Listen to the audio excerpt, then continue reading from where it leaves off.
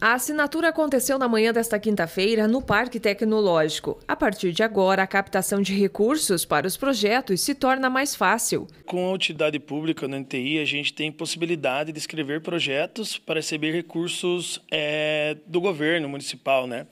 É, e com isso, a gente vai conseguir investir muito mais na formação de jovens com os nossos projetos, que um deles é o desenvolvendo talentos. Tiago explica como funcionava antes. Como a gente fazia antes? A gente é, abria o projeto, captava os, os jovens através das escolas, né?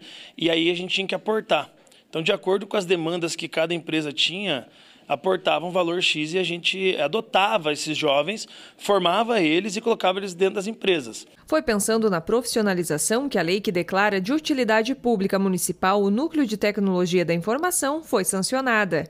Se você olhar qualquer empresário do Núcleo de Tecnologia, ele tem lá seus 20, 30, 40 vagas abertas e não tem o profissional que ele necessita.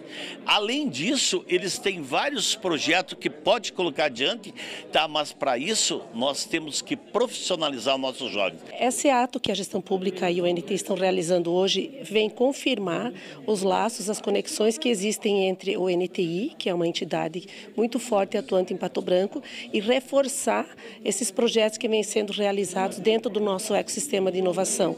Então, para nós, como o NTI já tem a sede aqui dentro do Parque Tecnológico e mais essa assinatura que vem acontecendo hoje, transformando o NTI nesse órgão de utilidade pública, faz com que isso se fortaleça e impulsione ainda mais o nosso ecossistema. Só no ano passado, 40 jovens que receberam qualificação entraram no mercado de trabalho. Nós entendemos isso como benefício geral para a sociedade. Por quê?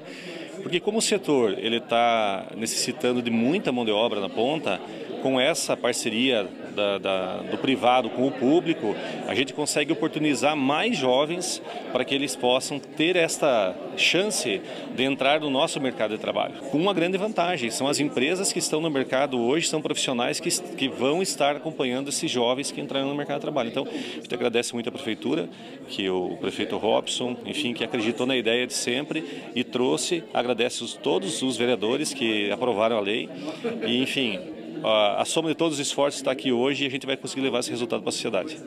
Esse trabalho conjunto é que vai permitir mais qualificação e é tudo pensando no mercado tecnológico que precisa e que tem dificuldade de encontrar a mão de obra solicitada. Nossa ideia é, sim, inclusive, é potencializar o nosso projeto de uma forma que é, a gente amplie ele, que ele atenda não só desenvolvedores, mas sim a área comercial, a área de marketing, que vem crescendo, marketing digital, a parte comercial do negócio, inteligência artificial que está em alta, está sendo falado pelo mundo, né? Então a gente precisa de todos os profissionais. E com recurso a gente consegue potencializar ainda mais os nossos projetos.